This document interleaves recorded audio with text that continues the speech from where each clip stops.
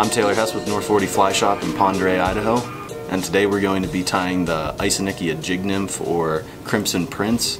It's a great pattern for imitating anything from a mahogany dun to an Isonychia, slate drake, uh, the list goes on. It's a great all-purpose pattern.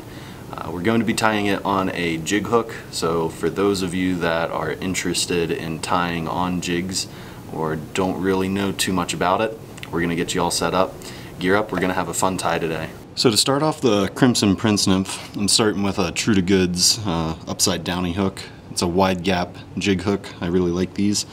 Um, it's gonna be a eight in, excuse me, an eighth of an inch copper bead slotted tungsten. So we're gonna start with a pheasant tail, probably about four to five fibers, and I'm gonna tie those in just behind the point of the hook so they're shooting straight out of the back. And then I'm going to use the pheasant tail to build up a little bit of a body. I'm going to take that just behind that bead trim and then I'm going to take a vinyl rib. Now what I want to do with this is I'm going to come back to the back of the fly. We're going to tie it in. Vinyl rib has a small crescent shape to it. So you want to make sure when you wrap, you're going to be able to wrap the round side facing upward. I'm going to get that tied in.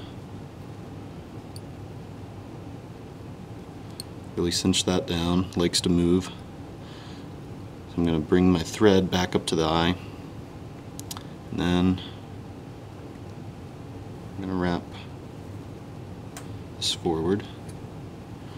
Again, you want that round side out.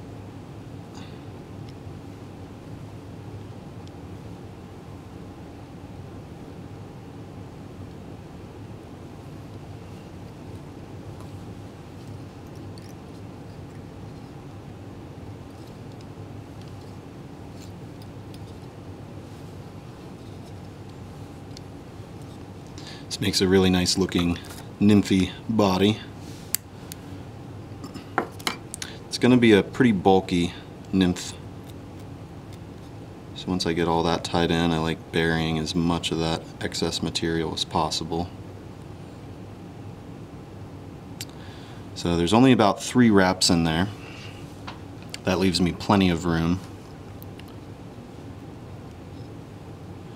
So next, what I'm going to do is I'm going to take a dyed red peacock herl, two strands. I'm going to tie that in just in front.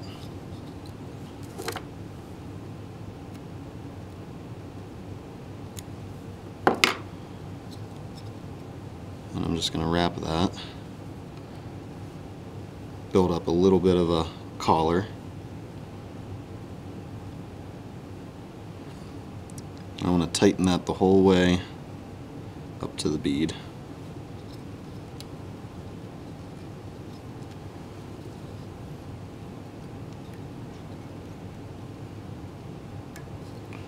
Alright, so once we're there, I'm going to turn the fly over. So when you have the fly turned over, we're going to add in some white biots and I'm going to tie these in. One at a time makes it a little bit easier.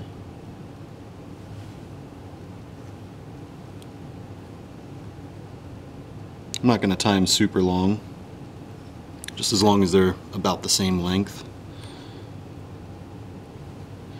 Normally jig flies are tied in the round which means they're symmetrical the whole way around this fly is going to tumble in the water so probably really doesn't matter too much what side they're on but just for the sake of the jig fly it's supposed to ride upside down so I'm going to have my white biots right on top just as so. And then we're going to take our thread and we're going to build up a nice little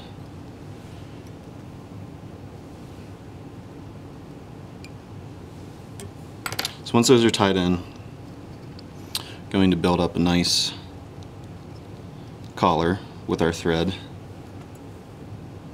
This is why using like a wine, claret, or a red thread goes a long way. Gives it a nice little bright spot of the fly. Once we whip finish, so once we're whip finished, I just added a little bit of UV glue on there. to cure that up.